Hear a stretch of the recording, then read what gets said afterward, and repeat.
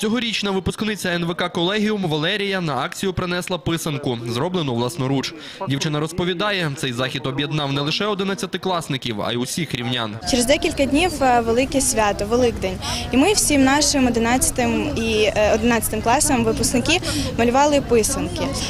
Нам, звичайно, це дуже сподобалось, адже е, і я вважаю, що кожного року потрібно проводити такі заходи. Е, Адже саме в ту мить, коли ми розписували писанки, ми е, приєднувалися один до одного і відчували себе як сім'я. Випускники третьої рівненської школи писанки розмальовували три години. Від заходу в захваті. Це дуже хороша акція, яка вже проводиться не перший рік. Е, Ми в школі зібралися не одним класом, був 9, 10, 11 клас.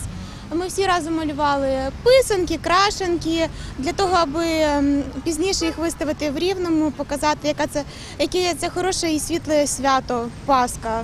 От, щоб люди радувалися, їхали і бачили, як усі цінять українську традицію і не забувають традиції і дотримуються їх.